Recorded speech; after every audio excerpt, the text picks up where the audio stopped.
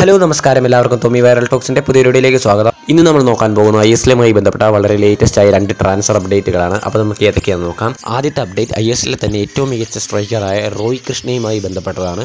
A T K Mohan ബഗാനിലൂടെ I S അരങ്ങേറിയ താരം. കേരള ബ്ലാസ്റ്റേഴ്സിൽ കളിച്ചിട്ടില്ലെങ്കിൽ പോലും കേരള ബ്ലാസ്റ്റേഴ്സിന്റെ ആരാധകർക്ക് മുഴുവൻ വളരെയധികം ഇഷ്ടമുള്ള താരങ്ങളിൽ ഒരാളായിരുന്നു റോയ് കൃഷ്ണ. താരം കേരള ബ്ലാസ്റ്റേഴ്സിൽ എത്തുമെന്നുള്ള റൂമറുകൾ വളരെയധികം പരന്നിരുന്നു. എന്നാൽ ഈ സാഹചര്യത്തിലാണ് താരം എഫ് സി ബാംഗ്ലൂരുവിലേക്ക് ചേക്കേറിയത്. സുനിൽ ഛേത്രിയുടെ ഒരു വീഡിയോയിലൂടെയാണ് എഫ് സി ബാംഗ്ലൂരു റോയ് കൃഷ്ണയെ സ്വന്തമാക്കിയ വിവരം ഒഫീഷ്യലായിട്ട് അറിയിച്ചിരിക്കുന്നത്. സുനിൽ ഛേത്രി അതായത് ഇന്ത്യൻ ടീമിലെ തന്നെ ഏറ്റവും മികച്ച ഗോൾ സ്കോററായ സുനിൽ ഛേത്രിയുടെ കൂടെ തന്നെ റോയ് കൃഷ്ണയും കൂടിയാകുമ്പോൾ ബാംഗ്ലൂരു എഫ് സിയുടെ മുന്നേറ്റം നിര ശക്തമാവുമെന്നത് ഉറപ്പാണ്. അടുത്ത ട്രാൻസ്ഫർ കേരള ബ്ലാസ്റ്റേഴ്സുമായി ബന്ധപ്പെട്ടതാണ്. കേരള ബ്ലാസ്റ്റേഴ്സ് അടുത്ത സീസണിലേക്ക് തങ്ങളുടെ നാലാമത്തെയും മൂന്നാമത്തെ വിദേശ താരത്തെയും സ്വന്തമാക്കിയിരിക്കുകയാണ്. യുറുഗെയിൻ മിഡ്ഫീൽഡറായ ഇവാൻ കല്ലൂയിനിയാണ് കേരള ബ്ലാസ്റ്റേഴ്സ് ടീമിലേക്ക് എത്തിച്ചിരിക്കുന്നത്.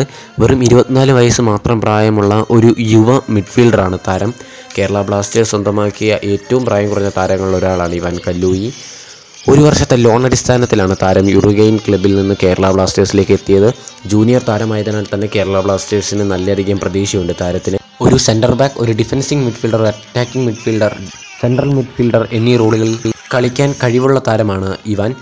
കേരള ബ്ലാസ്റ്റേഴ്സ് ഒരു വമ്പൻ ട്രാൻസ്ഫറുമായി വരുന്നു എന്ന ഒഫീഷ്യൽ വാർത്തകൾ വന്നിരുന്നു. എന്നാൽ അതൊരിക്കലും ഈ ട്രാൻസ്ഫർ അല്ല എന്ന് ഉറപ്പാണ്. കേരള ബ്ലാസ്റ്റേഴ്സ് ഇനിയും ഒരു ഒരു വമ്പൻ ട്രാൻസ്ഫർ ലക്ഷ്യമിടുന്നുണ്ട് എന്ന് ഉറപ്പാണ്. അതിനാൽ തന്നെ ആ വാർത്തയ്ക്കായി കാത്തിരിക്കുകയാണ് എല്ലാ മഞ്ഞപ്പട ആരാധകരും.